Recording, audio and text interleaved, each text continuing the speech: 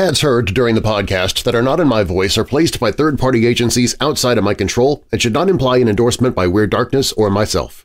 Stories and content in Weird Darkness can be disturbing for some listeners and is intended for mature audiences only. Parental discretion is strongly advised.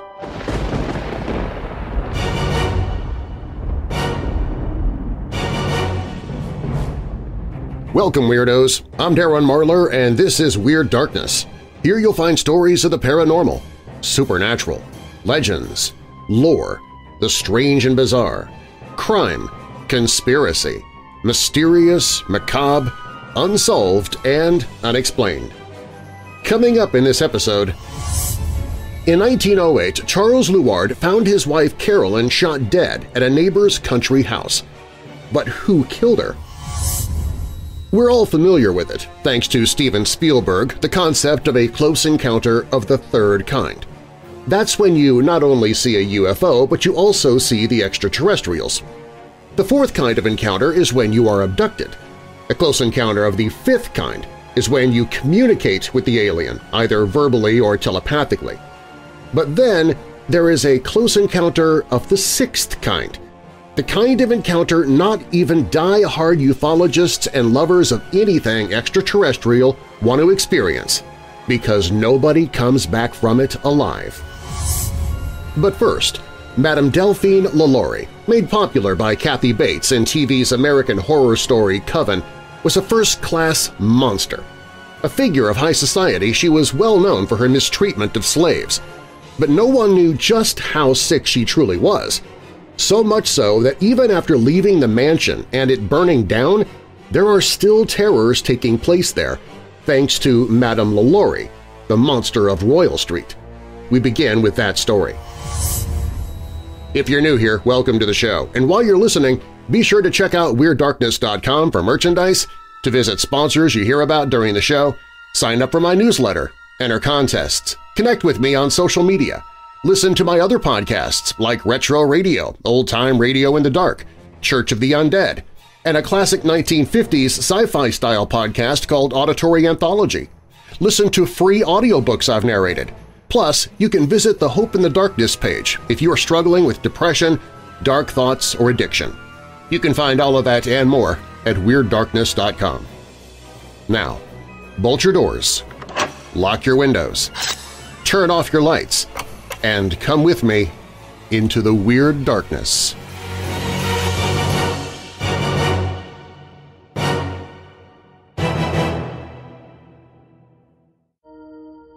Delphine LaLaurie was born Marie Delphine McCarty on March 19, 1787 in New Orleans, Louisiana, as one of five children in Louisiana's Spanish-occupied territory. Her father, Louis Bartholomew McCarthy, was an Irish immigrant, and her mother, Marie Jean, was a French woman. Louis shortened the family's surname from McCarthy to McCarty, and together they all immigrated to the United States in 1730. They lived in the whole Creole community, and her cousin, Augustin de McCarty, became mayor of New Orleans from 1815 to 1820. Remaining family members were wealthy merchants, army officials, and slavers. Delphine was beautiful and men were quite interested in her. When she hit the tender age of 13, it wasn't hard for her family to find a suitable groom for her. She was married in June 1800 to a high-ranking Spanish official by the name of Don Ramon de Lopez y Angulo. A major part of New Orleans was under Spanish occupation, so when Don was appointed Consul General of Spain, Delphine became one of the most powerful women in the state. In 1804, Don Ramon received a letter with a royal command stating that the young Spanish officer was to, quote, take his place at court as befitting his new position, unquote. Don Ramon and a very pregnant Delphine departed the United States and paused in Havana, Cuba. While there, Don Ramon became very ill and died just days before his daughter was born. She was named Marie Delphine Borja Lopez y Anguilla de Candelaria, but became best known in later years as Borquita, meaning Little Borgia, from the fact that she was named after her father's grandmother. Widowed and with a newborn baby, Delphine returned to New Orleans where she lived comfortably in her mansion. In 1808, she married a second time to one of the richest men in the region who was also a well-settled merchant, banker, and lawyer. Jean Blanc bought them a house on Royal Street, which became known as Villa Blanc. He and Delphine had four children, Marie-Louise Pauline, Louise Marie Laurie, Marie-Louise Jean, and Jean-Pierre Pauline Blanc. Delphine remained a figure of high society, spending time with other socialites. Her marriage to Jean Blanc did not last long, albeit longer than her marriage to Don Ramon. In 1816, Jean Blanc died after just eight years of marriage. She remained a widow for the next nine years, and that was when she met Dr. Leonard Louis Nicole Lalaurie. He'd come to New Orleans from Villeneuve-sur-Lot, France, and was ready to set up practice. Although he was much younger than Delphine, 20 years, the couple were married on June 12, 1825. As a busy doctor, Leonard was not at Delphine's side very often. In 1831, Delphine purchased a three-story mansion at 1140 Royal Street in the French Quarter, complete with attached slave quarters. She lived there with Leonard and two of her daughters, as her other children had moved on and married, while maintaining her central position in New Orleans society. The Lalauries maintained several slaves in their attached quarters. While out in public, Delphine was often observed being generally polite to black people and even concerned for her slaves' health. She had even freed two of her slaves, Jean-Louis in 1819 and De Vince in 1832, However, other accounts of her treatment of slaves was not so kind. For example, British social theorist and Whig writer Harriet Martineau wrote in 1838 that she had witnessed Delphine's slaves to be singularly haggard and wretched. She also wrote that public rumors about Delphine's mistreatment of her slaves were so widespread that a local lawyer had to visit her home to remind her of the laws for the upkeep of slaves. However, during his visit, he found no evidence of wrongdoing or mistreatment of slaves. Beyond the treatment of her slaves, Delphine was having marital problems. Neighbors reported hearing loud arguments and noises coming from the home. In 1834, the couple officially called it quits, and Leonard moved out of the house. It is said that after three tragic and failed marriages, Delphine went mad. Rumors spread about Delphine's slaves living in constant fear as she mistreated them a lot. One rumor claimed that she kept her 70-year-old cook chained to the stove starving. Another claims she kept secret slaves for her husband to practice Haitian voodoo medicine on. Two reports of mistreatment are on record as actually being true. One slave, terrified of punishment from Delphine, threw himself out of a third-story window, preferring death over torture. The third-story window was then cemented shut and remains so to this day. The other report was regarding a 12-year-old slave girl named Leah. Leah was brushing Delphine's hair and pulled just a little too hard once. Delphine flew into a rage and whipped the girl. To escape further punishment, the girl climbed out onto the roof, where she leapt to her death. Delphine was witnessed burying Leah's corpse, and police were forced to fine her $300 and made her sell nine of her slaves. However, mistreatment of slaves by the wealthy and socially connected was not a matter for the police at the time, so they didn't flinch when she bought back those nine slaves. Then on the afternoon of April 10, 1834, the Lalaurie mansion went up in flames. When police and marshals barged into the house to get the fire under control, they found a 70-year-old slave woman chained to the stove, while Delphine frantically tried to save her valuables. The police set the woman loose, and she led them up to the attic where it was believed that slaves would go and never return. There they found seven slaves, tied with spiked iron collars. As the authorities were releasing the slaves, they discovered that their bodies were badly mutilated, with their limbs deformed, and in some cases their intestines had been pulled out of their bodies and tied to them. They also discovered discarded corpses and mutilated body parts. Other slaves were found chained in their quarters. Once the fire had been extinguished, the 70-year-old woman confessed to setting the fire because she was afraid of the punishment Delphine was going to give her. Those that had helped free the chained-up slaves were indignant, and on April 15th a mob charged the Lalaurie mansion and began to wreck it. They were only dispersed when a company of U.S. regulars of the Regular Army were called out by the helpless sheriff.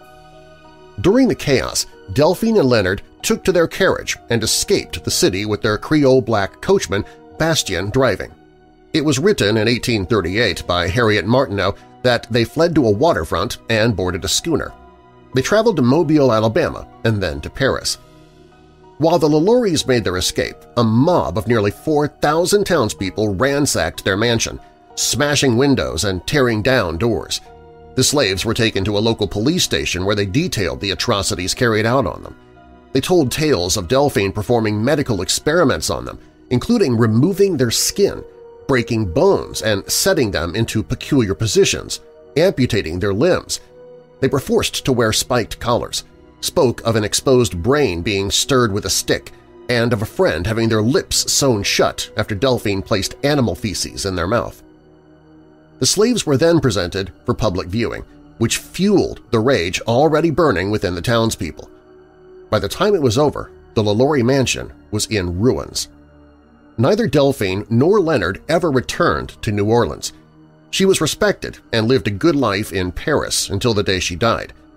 Her death is somewhat of a mystery, however, with some claiming that she died during a boar hunting accident, others claiming she secretly returned to New Orleans to live a secret life of anonymity. Looking through official documents, you'll find that Paris has recorded her death as December 7, 1849. Unsettling, however, is the old, cracked copper plate found in the late 1930s in the New Orleans St. Louis Cemetery, bearing the name LaLaurie Madame Delphine McCarty. The inscription, in French, claims that Madame LaLaurie died in Paris on December 7, 1842, seven years earlier. To this day, the remains of Madame Delphine LaLaurie have never been found.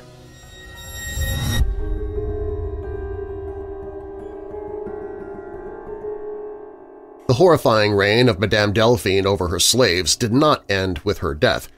Wait until you hear what happened to the property later on and what people saw in the shadows. Plus, in 1908, Charles Luard found his wife Carolyn shot dead at a neighbor's country house. But who killed her? These stories and more when Weird Darkness returns.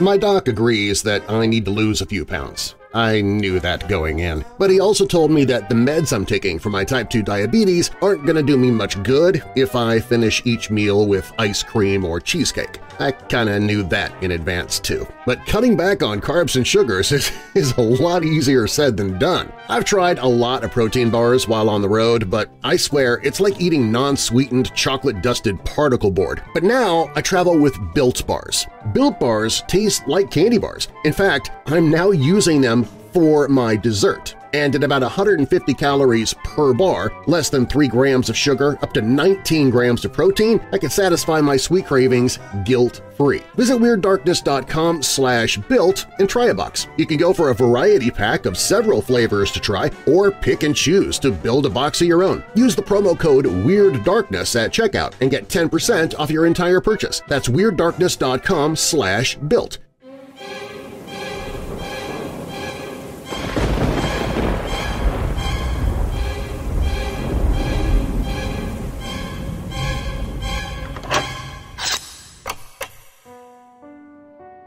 Imagine, if you will, being a young girl, a student at an all-girls school in New Orleans, Louisiana.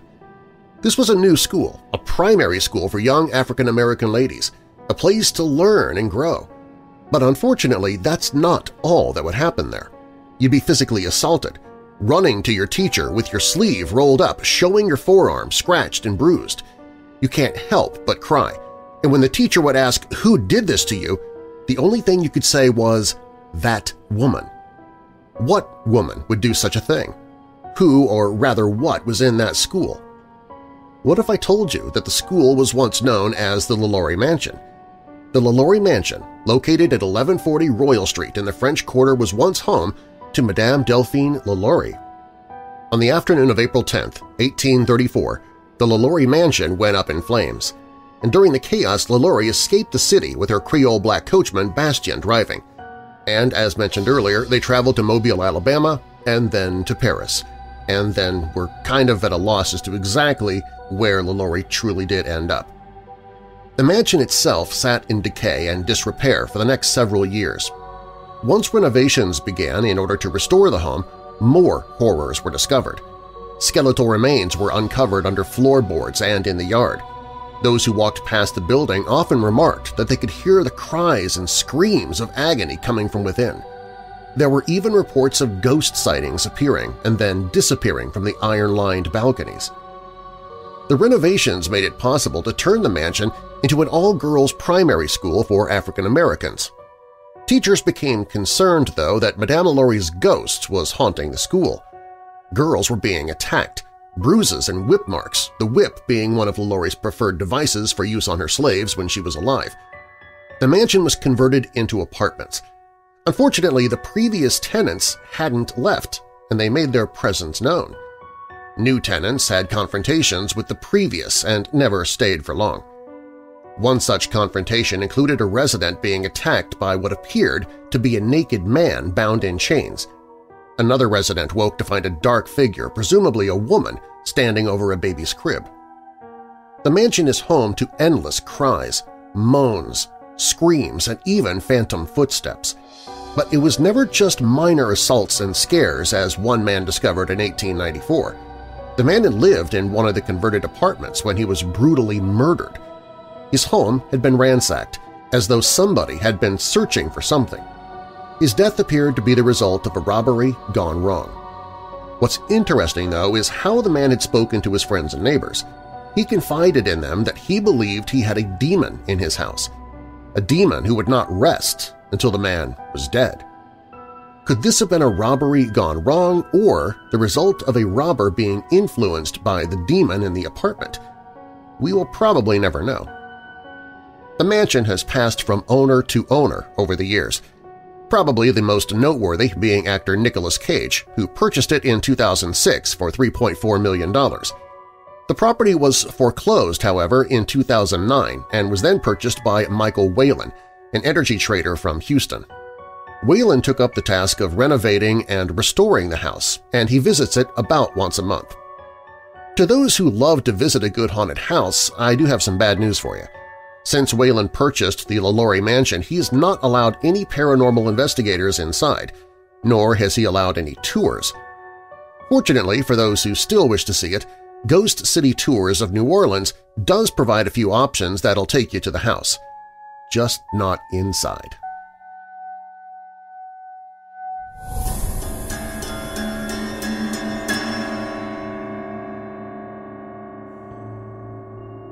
Carolyn and Major General Charles Luard were upstanding members of their community in Kent, England.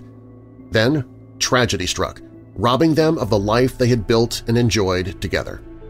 First, Carolyn was found murdered at a neighbor's country home in Seal Chart, Kent. Just weeks later, Charles took his own life. And though there's been much speculation, the case, widely known as the Seal Chart murder, was never conclusively solved.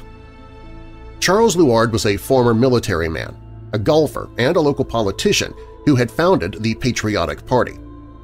Carolyn Luard was a well-liked friend, neighbor, and frequent volunteer for charitable causes. The parents of two grown sons, the couple was settling into the golden years of their life. Their social standing as upper-class members of late Victorian society made their untimely deaths particularly shocking and notable. The series of events began on August 24, 1908, a typical summer's day for 58-year-old Carolyn and 69-year-old Charles. They left their home together on foot at 2.30 p.m. Charles was headed to the golf club to retrieve his clubs, while Carolyn was planning to enjoy some exercise before returning to the house for afternoon tea with a friend. At 3 p.m. they parted ways at a particular gate. She headed through the gate and down a path that would take her through the woods, past their neighbor's mostly unused summer house and back to their home. Charles traveled onward to the golf club. Little did the couple know that would be the last time they ever bid each other farewell. Various townspeople saw the Major General over the next 35 minutes as he made his way to the club. At or around 4.05 p.m., after leaving the club, the local vicar, driving in the opposite direction, promised him a ride home after completing an errand. The Reverend made good on his word, driving by again and picking up Charles at 4.20 p.m. and depositing him at his home at 4.25. Arriving at home, Charles was surprised to find Mrs. Stewart, the friend Carolyn had promised to host for tea, waiting patiently for his wife's return. Upon realizing Carolyn was missing, Charles set off in search of her at 4.30 p.m.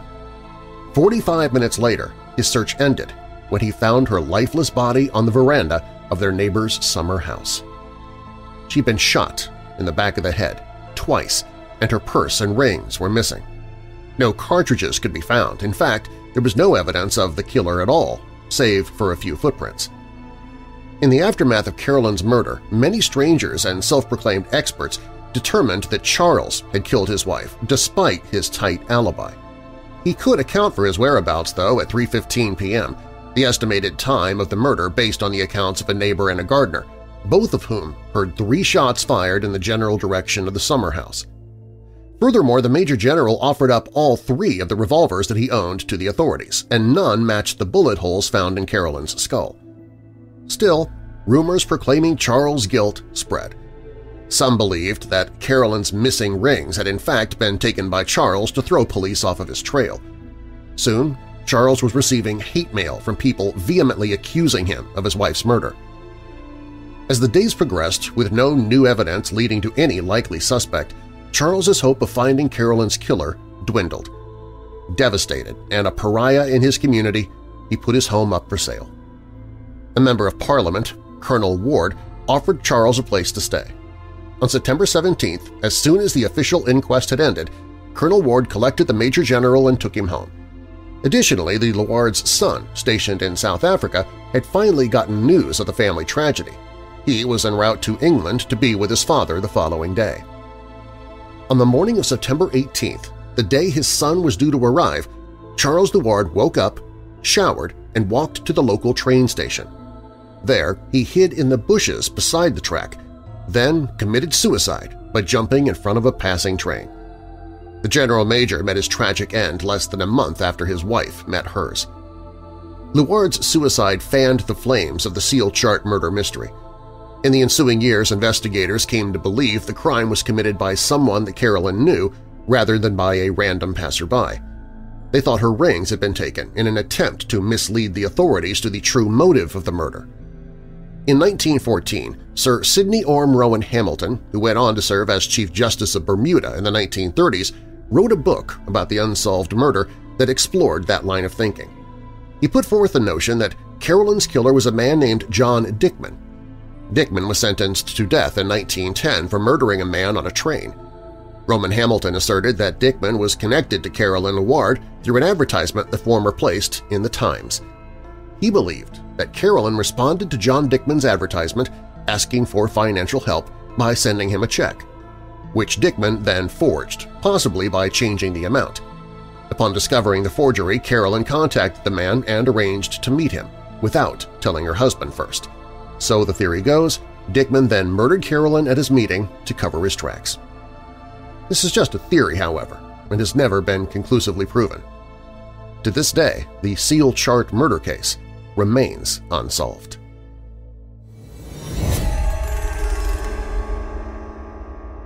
We're all familiar with, thanks to Steven Spielberg, the concept of a close encounter of the third kind. That's when you not only see a UFO, but you also see the extraterrestrials. The fourth kind of encounter is when you are abducted. A close encounter of the fifth kind is when you communicate with the alien, either verbally or telepathically. But then there is a close encounter of the sixth kind. The kind of encounter not even die-hard ufologists and lovers of everything extraterrestrial want to experience, because nobody comes back from it alive. That's up next on Weird Darkness.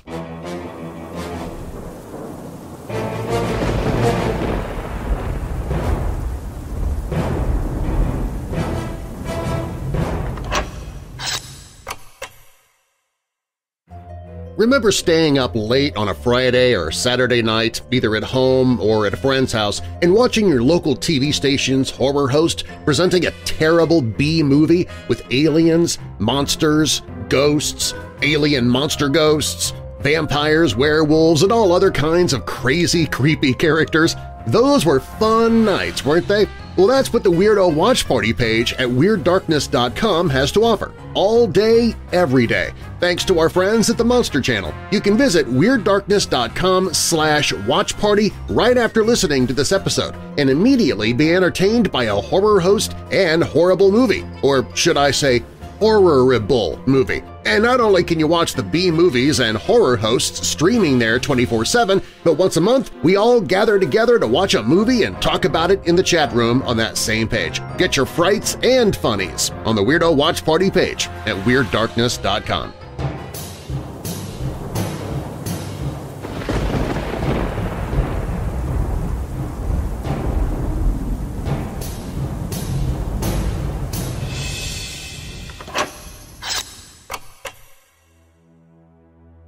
While most people who witness a UFO, even those who claim to have been abducted, live to tell their tales, others are not so lucky.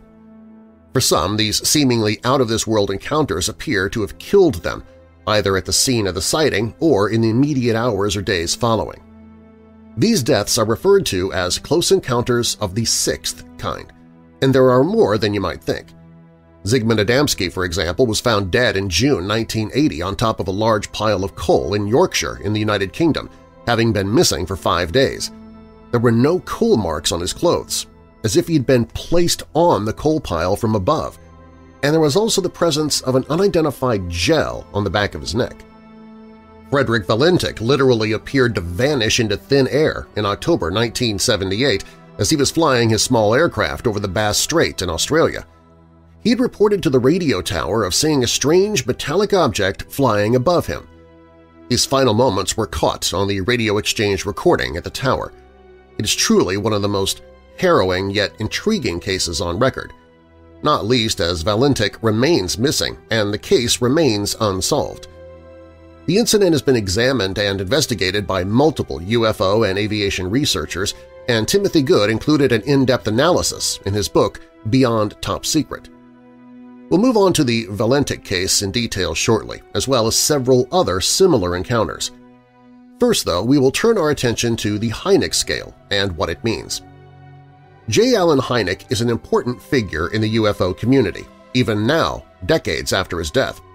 Not only was he one of the first serious scientists to show a level of respect and interest in the UFO phenomena, despite his initial skepticism, but he also devised a system with which researchers and investigators could better log and catalog such sightings. His research and theories resulted in the Hynek scale, something that is still utilized by ufologists and researchers today. Hynek's scale originally had three levels, but as more and more research into the UFO phenomena is carried out, more extensions were added. In short, the Hynek scale is as follows. A close encounter of the first kind is a visual sighting. A close encounter of the second kind is where there is some kind of interference, perhaps electrical, or there is damage to vegetation or the ground where the event took place. A close encounter of the third kind is where an actual pilot or an animated creature is seen during a UFO sighting. A close encounter of the fourth kind is where a person is abducted by the UFO. A close encounter of the fifth kind is one where communication takes place between humans and extraterrestrial intelligence. This includes the much-reported telepathic communication. A close encounter of the sixth kind is where a death of a human or an animal, including cattle mutilations, has resulted during or because of a UFO event. A close encounter of the seventh kind is the creation of an alien-human hybrid. And a close encounter of the eighth kind is a reference to any individual's unique event that may include several of the first kinds of encounters together. On the evening of October 21, 1978, 20-year-old Fred Valentich set out in his Cessna 182L aircraft from Moorabbin Airport in Victoria, Australia on a routine training flight. A relatively inexperienced pilot, Valentich had about 150 hours of flying time to his credit, but he was also qualified to fly at night as well as day. We should perhaps note that Valentich had drawn the attention of aviation authorities several times prior to this fatal flight that evening in 1978. For example, there was considered prosecution for flying blind into a cloud as well as receiving a warning for flying in restricted airspace. What's more, he had only his private pilot license for a little over a year, having obtained it in September 1977. He left the runway just short of 6.20 p.m. A little over 45 minutes later, what was a non-eventful flight changed drastically. At 7.06 p.m., at an altitude of around 4,500 feet, Valentich would radio the control tower in Melbourne, asking if there were any other aircraft in his airspace. After the control tower replied that no traffic was in the same airspace as he was, he would report that he could clearly see an unidentified aircraft approaching. He would further describe that it appeared to have four bright landing lights. Valentich would continue that the aircraft had passed over the top of his vehicle at high speed, so fast that he couldn't focus on the details of its shape. After several moments, according to the tapes of the transmissions, Valentich would offer, "'It seems to me that he's playing some sort of game. He's flown over me two or three times, at speeds I can't identify.' And then things turned even stranger.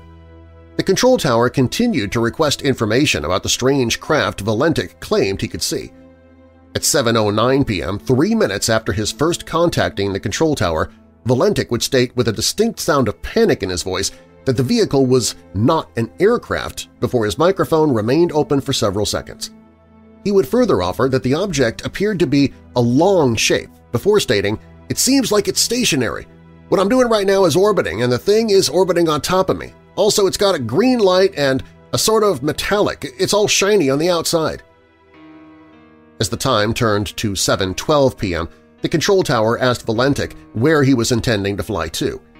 He would reply that he was headed to King Island, before continuing that the strange aircraft is hovering on top of me again. It is hovering, and it's not an aircraft. Around 30 seconds later, after the open microphone captured the scraping metal sounds, the transmission ended. Shortly after, an extensive search would get underway. It would last four days and would involve RAAF and civilian aircraft. In total, over a thousand square miles were searched, but no sign of the wreckage or Valentich himself was ever found. Even the radio survival beacon that was on board the plane failed to identify its location.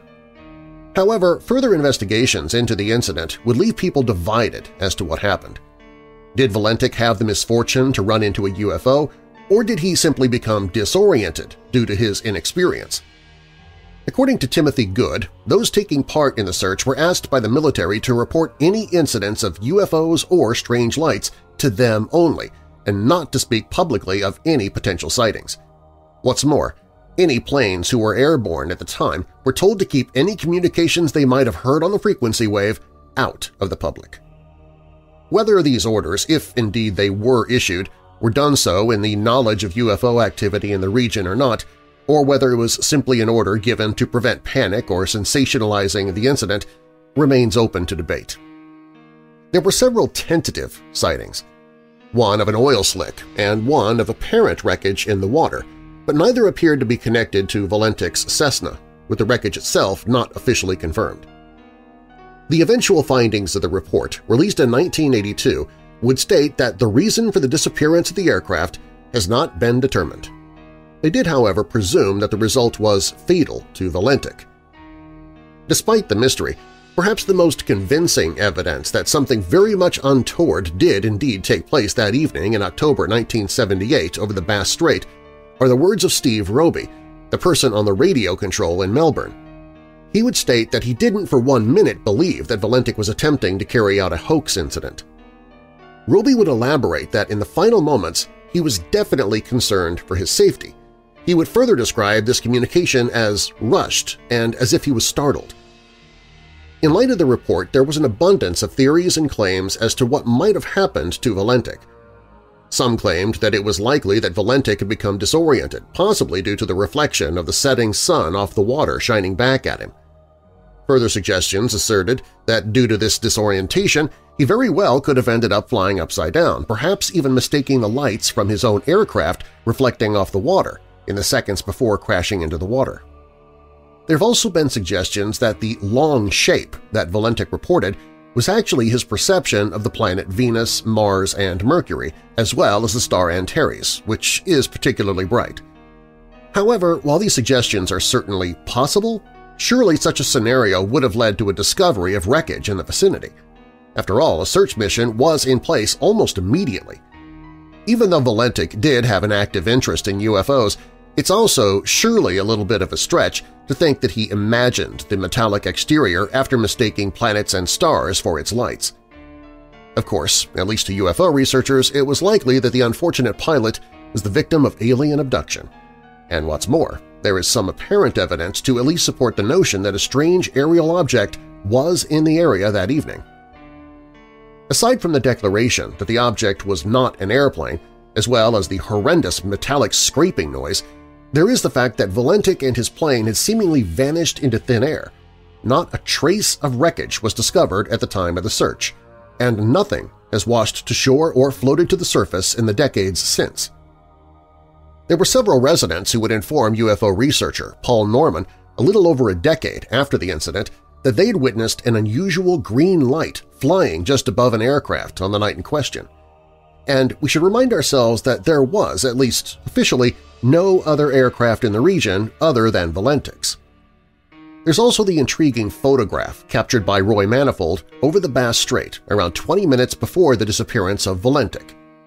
Not only the picture but his son Jason remained outside after his father returned inside and recalled hearing the sound of a small aircraft in the distance. He would listen to this for several moments before realizing it had suddenly stopped, as if someone had turned it off. Had Roy Manifold captured the object that was responsible for Valentich's disappearance on film? And did his son Jason hear those final moments play out? There are other intriguing theories that we should examine, however. For example, some researchers and investigators assert that Valentich had orchestrated the whole affair in order to disappear and then begin a new secret life, possibly in Cape Otway. And while such claims are perhaps outrageous, there are some intriguing details to examine. We know, for example, that Valentich had a keen interest in UFOs, and we also know that his run-ins with the aviation authorities led to deliberation as to whether he was to face charges at the time of his disappearance. He also gave two different reasons for being in the air that evening, telling flight officials that he was traveling to King Island to pick up some friends, while telling others he was making the journey to pick up crayfish. Furthermore, it would later come to light that he had not correctly informed King Island Airport of his intention to land there.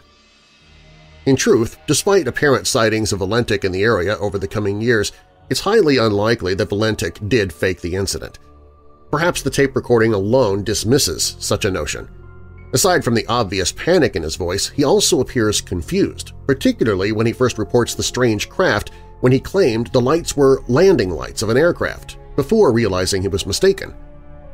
Unless Valentich's acting skills were of the highest caliber and his ability to plan such details as mistaking the lights for landing lights was so intricate, we should probably push the staged disappearances to the very back of the back burner. Despite the proposed explanations on one side and the assertions by those in the UFO community that the incident is one of alien abduction and certainly a UFO encounter on the other, the disappearance of Fred Valentich remains unexplained and just as mysterious today as it did almost half a century ago in October 1978. It's perhaps also interesting that the incident took place over the Bass Strait, a stretch of water that has a long history of strange disappearances bizarre lights, and UFO sightings. Might Valentich not have been a victim of alien abduction, but of something more akin with the unknown fate that meets those who are lost in such mysterious locations as the Bermuda Triangle? Or might the two even be connected? If we return our attention back to Roy Manifold's photographs for a moment, which you can find online, by the way, by doing a simple search of Roy Manifold UFO, it's perhaps interesting to note that UFO researchers claim they show the object, fast-moving and of triangular-type shape, leaving the water. Might this suggest some kind of alien base under the Bass Strait off the coast of southern Australia? And might this potential extraterrestrial facility be where Valentich was taken? While it's unlikely that the Valentich case will be officially reopened or investigated in the near future, many researchers of UFOs and strange, unsolved events remain fascinated with the incident. Indeed, it's only through further investigation and examination of the case that we can hope to get the truth of what happened that October evening in 1978.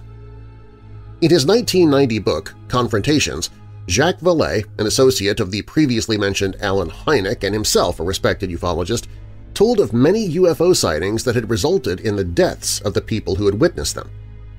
Perhaps one of the most chilling, and the incident that made Vallée took a look at such UFO sightings, was an event that occurred August 1966 in Rio de Janeiro in Brazil. A local teenager came upon the corpses of two men while looking for his kite. The scene was puzzling. Both men lay on their backs with no signs of having put up a struggle. Both were dressed in neat raincoats and suits, and both had lead masks near to their heads.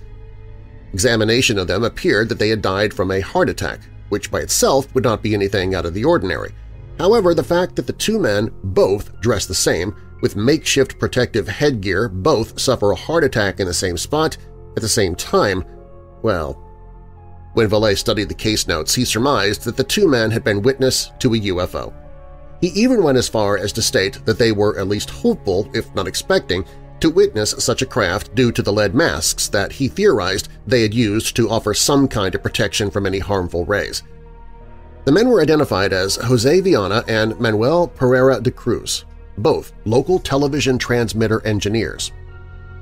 When the deaths of the two young men were announced, others came forward to tell of strange sightings around the area their bodies had been found. Usually reported was an oblong-shaped object that appeared to glow orange and emitted strange beams to the ground. Had this been the craft that the two television transmitter engineers had been hopeful of seeing? You can read a more in-depth account of that particular incident in the book From Deep Within the Archives of UFO Insight, History's Most Bizarre, Outlandish, and Controversial UFO and Alien Encounters, written by Marcus Lowth. I'll place a link to that book in the show notes. Upon visiting the site of Viana and Cruz's death as part of his research, Vallée was soon bombarded with other strange stories and tales from the region, some dating back two decades prior. In 1946, Prestes Filho was returning to his village of Aracaguama at a little after 7 p.m. from a fishing trip when a strange object appeared overhead, shooting out a strange beam of light as it did so. The light hit Filho, who barely managed to get to his front door and inform his sister of what had happened. Within hours, his condition had worsened dramatically. Vallée wrote that he had learned from the reports his flesh had literally detached itself from the bones. It was as if he'd been boiled in hot water for a very long time so that the skin and underlying tissue fell. By the time Filho had reached the local hospital, he was dead. Bizarrely, his skin continued to come away from his bones even after death. Another account took place three years after the original incident that Vallée had traveled to Brazil to investigate, this time in the small town of Anolaima in Colombia. Just after 7 p.m. on July 4, 1969, two children saw a strange, bright object land in a nearby field of a local farm. One of the main witnesses, Mauricio Neco, had arrived at the farm with his Aunt Rosa, whose cousin was the owner. There were several other children who were also part of the family and had arrived to spend several nights at the farm. One evening during the stay, Mauricio, along with three cousins, Andres, Marina, and Enrique, had ventured to a hill to look at the stars overhead. It was as they were doing so that they first noticed the strange light, different from the stars, appear overhead. The children remained where they were and watched the light as it moved. As they did so, they could clearly see that it was growing steadily larger, as if it were approaching. Bizarrely, though, they noted between themselves that no sound could be heard, even as the object continued its approach. As Mauricio continued to watch, the other children began calling to other family members to come and see this bizarre and unnerving light. Grabbing their torches, they began to flash and signal in its direction. The object responded and came rapidly closer to them. The rest of the family, the three adults and the six younger children, now alerted by the children's terrified cries, came out to witness the bright craft. In all, there were 13 family members who saw the object overhead. They would describe it as approximately the size of a car and a sphere-like shape. Furthermore, it glowed a particularly bright amber color which lit up the area below. Then it began to move again back toward the main house over the field of blackberry crops. Mercutio snatched a torch out of his child's hands and made off in the direction the brightly lit craft had gone. He quickly disappeared into the blackberry crops that lined the field. The children followed, a little less eager than Arquesio.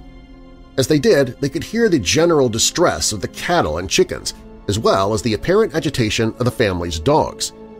They suddenly arrived at one of the outbuildings behind the main house. There, in front of them, was Arquisio, and across from him was the glowing object, hovering only ever so slightly above the ground. They watched for several minutes as Arquisio and the strange object remained opposite to each other, as if in a bizarre standoff. Then it rose into the air and suddenly took off at breakneck speed into the night sky. Mauricio would recall how it was like something seen in a science fiction movie. They all would return home, and although they would turn into bed as normal, no one in the house slept at all that evening. The next day, the children were to return to their respective homes following their stay. Before doing so, however, they went to find their uncle, Arquisio, to thank him and bid him farewell. However, he had remained in bed due to waking up feeling extremely ill. Then, three days later, things took an even more dramatic turn. Mauricio's mother received a call from his aunt. She needed her to come back to the farm and take Arquisio to the hospital. In the coming days, Arquisio became increasingly ill. Dark blue spots had appeared on his skin, and he had a constant feeling of nausea. A week after the sighting, he had died. The official explanation for his death was put down to gastroenteritis. The doctor in charge of this case, however, did note that he could not explain his very low body temperature.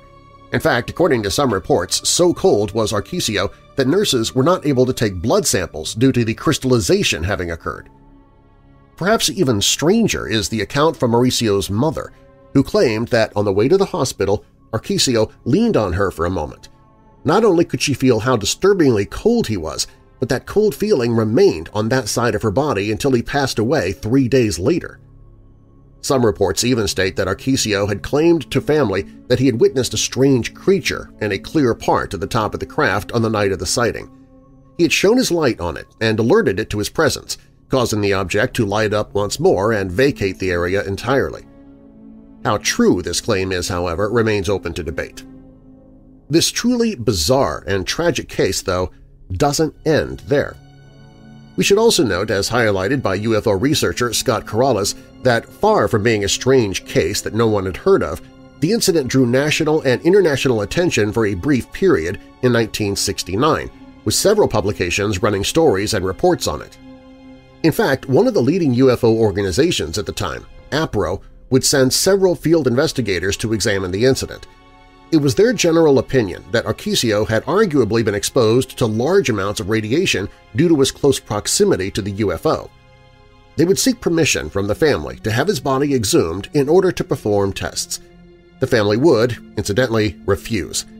However, several years later, when they eventually did agree to allow them to exhume the body, the situation turned even more disturbing. Upon opening the coffin, all present would discover that the body was gone. What's more, there has never been a satisfactory explanation as to what happened to it or who might have taken it. Might we suspect that there was a military involvement in the removal of the body, or perhaps even a discreet foreign intelligence, especially given the attention the case received? One particularly outlandish suggestion was that whatever intelligence was behind the strange craft had returned to retrieve his body for study. There has, however, been much speculation about the grim theft. Perhaps the claim that rings truest, though, is the one that the family members themselves learned through their own investigations in the local community. According to what they were told, several strange men had offered a substantial amount of money to one of the gravediggers at the churchyard where Arquisio was buried in return for allowing them to dig up and remove the body. Who these men were, however, is not known. The tragic case of Arquisio Bermudez is one that still frustrates UFO investigators and enthusiasts around the world. And while the truth coming to light might be unlikely, perhaps the fact that Arquisio's body was taken by a mysterious person or persons leaves open the possibility of a disclosing or leaking of information regarding the case. We should, though, collectively keep the case alive through research, investigation, discussion, and the exchange of ideas and theories, perhaps not least as the incident is one that appears credible and genuine. From the number of witnesses to the event, the official records of the treatment of Arquisio at the hospital in the days that followed the incident, as well as the attention it received in the press and across borders. The main witness to the incident, Mauricio, has maintained an interest in the events of that July evening in 1969, events he would describe as life-changing. And he has also suffered a certain amount of ridicule and even bullying over the years for his open-minded approach to ascertaining just what did happen to his uncle.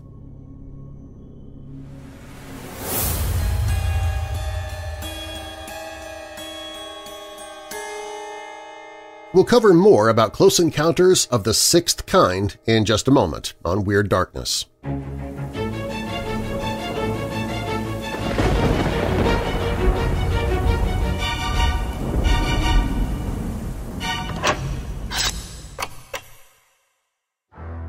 No matter the time of day or season, Sometimes you need to find a way to rid yourself of those ghostly chills that bring raised hairs and goosebumps to your skin. Other times you're looking for those ghostly chills. Either way, it sounds like you need a mug of Weird Dark Roast coffee. Weird Dark Roast coffee has deep notes of cocoa, caramel, and a touch of sinister sweetness that'll send shivers down your taste buds. This is an exclusive coffee that I selected specifically for you, my weirdo family. Weird Dark Roast is not available in stores, coffee houses, mad scientist labs, or even the dark web, but you can find it at WeirdDarkness.com slash coffee. Weird Dark Roast Coffee, fresh roasted to order so it's as fresh as it can be when it lands on your doorstep and knocks three times. Grab yours now at WeirdDarkness.com slash coffee. That's WeirdDarkness.com slash coffee. Weird Dark Roast Coffee does not actually knock on your door because it doesn't have arms or hands, so if you hear knocks at the door and no one answers when you ask who it is, it's probably paranormal and you should just leave the door shut and locked.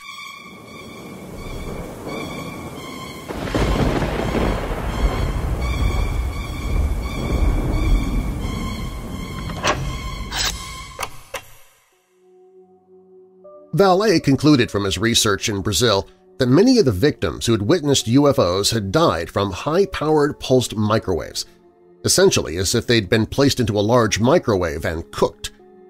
Whether these deaths were intentional or just a result of someone being in the vicinity to such strange craft is open to debate, as is who the people behind these microwaves might have been. Were they extraterrestrial visitors from another world? Or might they have been secret government weapons being tested somewhere far away from home soil? Although the official word is that the U.S. government, for example, was working with the beginnings of such technology in the 1960s, it's widely accepted that behind closed doors they're generally 20 or 30 years ahead of their official position. Dr. Steven Greer is just one of many people who believe that to be the case. He also firmly believes that, at least in part, recovered and back-engineered alien technology is the reason for this. In an extensive interview he gave in 2005, he stated to having in his possession leaked papers that showed the United States government alone monitors around 500 UFOs that enter the Earth's atmosphere every year. These UFOs are codenamed Fast Walkers.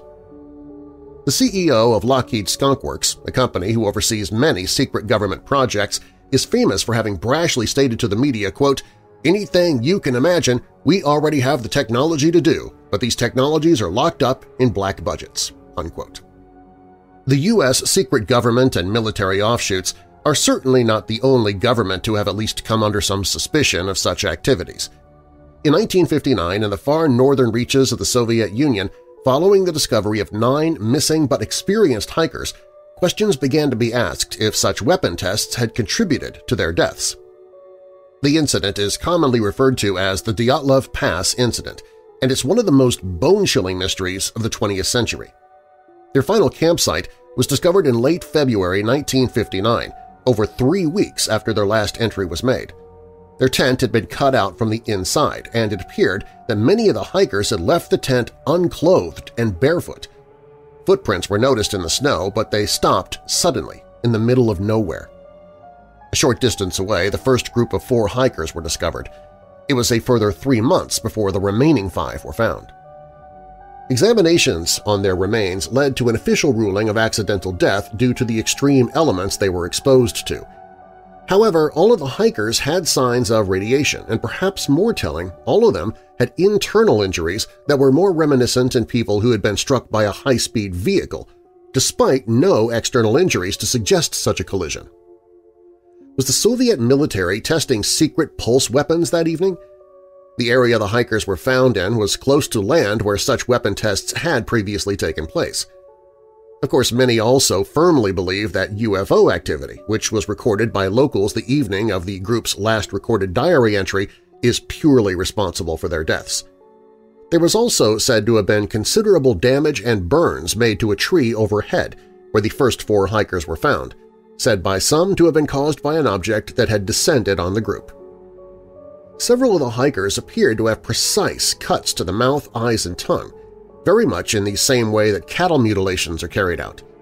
This is interesting in itself, given that a much debated topic of the cattle mutilation phenomena is just how the animals are tamed to allow such procedures to take place with no struggle. Might they also be subjected to pulse technology? A possible UFO encounter that resulted in someone's death in more recent times is the unsolved and unexplained death of Todd Sees in 2002. Sees would leave his home where he lived with his family to embark on a morning scouting deer. He would not return home, however, and his body was eventually discovered only a short distance from his home, in a place that had already been searched. This last detail perhaps might remind us of other similar accounts from the Missing 411 research of David Paulides. However, when it came to light that there were several witnesses in the town that had seen strange objects over the area on the day of Sees's disappearance, including one that would even claim to have seen a person trapped in a strange beam over the area where Sees's vehicle was eventually found, investigators and researchers in UFO circles began to take a serious interest in this tragic affair. Many such researchers and investigators of the paranormal have examined the Sees case, with Butch Witkowski perhaps conducting some of the most extensive research. We should also note that the case is that of a real person with a real family who are undoubtedly more distressed and upset than anyone at Todd's death.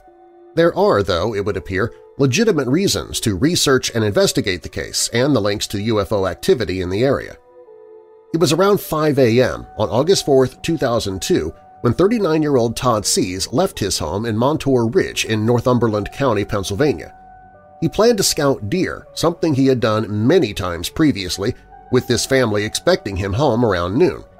He would set out in his four-wheel drive truck, perfect for the rough terrain where he was headed. However, when noon came and went without his return, his family became immediately concerned. They would soon notify local police of his disappearance, and a search operation was put into action. This involved local and state police, search and rescue personnel, as well as around 200 volunteers.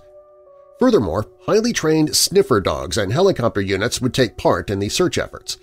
The entire area was searched, including the family property itself and the woodlands adjacent to it. Also searched was a pond that was around 70 feet from the family home. In fact, because of a small body of water and its close proximity to the house, this particular area was searched extremely thoroughly. No sign of Todd Sees was discovered. However, his truck was found around two miles from his home at a ridge where he had stated he would be that morning. Around 36 hours into the search, by pure chance, something in the bushes near the aforementioned pond caught the attention of one of the searchers. They would go to investigate further and make the grim discovery of Todd's body. Quite how it could have been missed only the previous day has not been explained. Equally baffling is the eventual official ruling of fatal cocaine toxicity, despite obvious areas of concern and circumstances surrounding the case. In fact, it would be only the first of many controversial circumstances surrounding the death of Todd Sees. We should perhaps start by highlighting the distance between Sees's truck and the location of the pond where his body was discovered, a total of three miles. Had he attempted to walk home, leaving the truck on the ridge? If so, why? It was a particularly hot day when he disappeared, and such a walk, while not a great distance, relatively speaking, is still a fair distance on such a day. What's more, given that the cause of death was already established and no one was being sought in connection with it, why did the FBI seemingly have an involvement in the case? Perhaps even more perplexing is that, according to a member of the search team in response to Butch Witkowski's question on the state of the body, there was no sign of injury or bite marks that would indicate an animal attack. In fact, his body was intact. However, when asked why his family had not identified the body, Witkowski was informed that they were to be spared from witnessing his emaciated remains, as he, Gary Stephan, the Northumberland County's chief of police, knew Todd Sees well. If Stefan was indicating that Sees's body had suffered from decomposition, why had this seemingly happened so quickly in a little over just 24 hours? This confusion was seemingly compounded when the coroner, James Kelly, referred to Sees's body as the remains, indicating that something physical had indeed injured Sees. Perhaps above all else, why was his body missed the day before? Was he somewhere wandering around the woods, seemingly missing the searchers as he did so? We have to think that's unlikely, especially given how well he knew the area and the close proximity to his house. There were, of course, at least two UFO reports around the same time as Sees's disappearance. Each would claim to have witnessed a saucer-shaped object over Montour Ridge, the location where Sees's car was discovered. Of even more concern, though, was the detail that a light beam had seemingly snared a human being and was moving it through the air and toward the disc-like object overhead. It is perhaps also worth noting that the area, much like Pennsylvania, has a long history of UFO sightings, and these sightings continue now in the 2020s. Was Cease the extremely unfortunate victim of alien abduction, and even that on this occasion turned deadly? If not, what was the reason for the apparent secrecy and closed nature of the authorities on the circumstances of his death?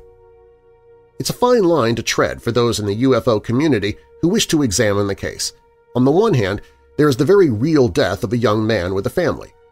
On the other, there is a whole host of unanswered questions and reasons for suspicion, not to mention the claims of UFO sightings in the area on the day of Cease's disappearance.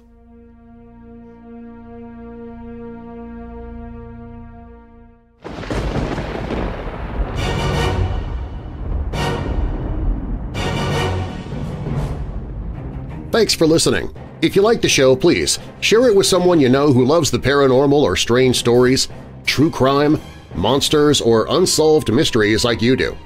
You can email me anytime with your questions or comments at darren at WeirdDarkness.com. Darren is D-A-R-R-E-N. WeirdDarkness.com is also where you can find information on any of the sponsors you heard about during the show, find all of my social media, listen to free audiobooks I've narrated, sign up for the email newsletter, Find other podcasts that I host, including Retro Radio, Old Time Radio in the Dark, Church of the Undead, and a classic 1950s sci-fi style podcast called Auditory Anthology. Also on the site, you can visit the store for Weird Darkness t-shirts, mugs, and other merchandise. Plus, it's where you can find the Hope in the Darkness page if you or someone you know is struggling with depression, addiction, or thoughts of harming yourself or others. And if you have a true paranormal or creepy tale to tell of your own, you can click on Tell Your Story. You can find all of that and more at WeirdDarkness.com. All stories on Weird Darkness are purported to be true unless stated otherwise, and you can find links to the stories or the authors in the show notes. The Seal Chart Murder was written by Elisabeth Tilstra for the lineup. The Monster of Royal Street was posted at the Scare Chamber. Close Encounters of the Sixth Kind was written by Marcus Lowth for UFO Insight. Weird Darkness is a registered trademark. Copyright Weird Darkness. And now that we're coming out of the dark, I'll leave you with a little light. Mark 9 verse 23 If you can, said Jesus, everything is possible for one who believes. And a final thought, in the end, people would judge you anyway, so don't live your life impressing others. Live your life impressing yourself. Eunice Camacho Infante. I'm Darren Marlar. Thanks for joining me in the Weird Darkness.